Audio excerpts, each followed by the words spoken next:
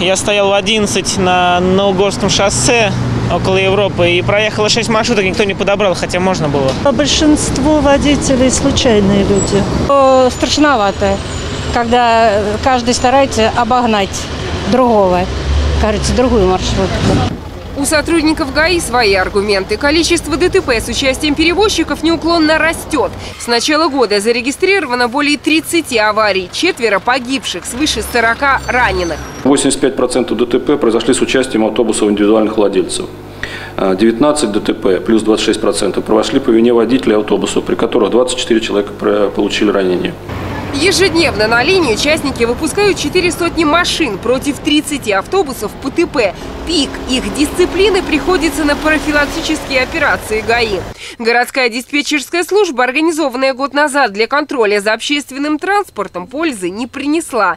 В часы пик хаос на дорогах, никаких обязательств перед пассажирами. А по вечерам и в прибыльные районы и вовсе «хочу еду, хочу не еду». Это должно быть у вас вот э, в конкурсной документации прописано, что в случае нарушения неоднократного правил предоставления услуг по перевозу пассажиров, там, зафиксировано через ваш центр мониторинга, он удаляется с этого рынка. Если частные компании не хотят справляться, предоставляют услугу не так, как она должна предоставить, значит, они с рынка будут уходить. Находят себе другие регионы, другие города, где как- кого будет устраивать их работу. Конкуренцию участникам, диктующим правила на дорогах, мог бы создать дееспособный муниципальный автобусный парк. Но пока это лишь планы, которые отодвигаются на неопределенный срок. Из 60 машин ПТП на линию выходит лишь половина, остальные в ремзоне. Мы планируем сейчас поменять где-то около 20 автобусов. Игорь Владимирович, возьмите за этот вопрос и помогите городу в этой ситуации. Хорошо?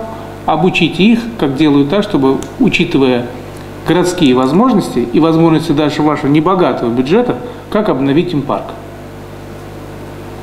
Чтобы они выходили на конкурс с новой техникой, соответственно, она была современной, обеспеченной необходимым оборудованием, э, обеспеченная была для инвалидов, О более комфортабельном транспорте придется подумать и частным перевозчикам. Количество газелей на орловских дорогах будет стремительно сокращаться. Власти Орла планируют оставить компактный транспорт на двух-трех маршрутах.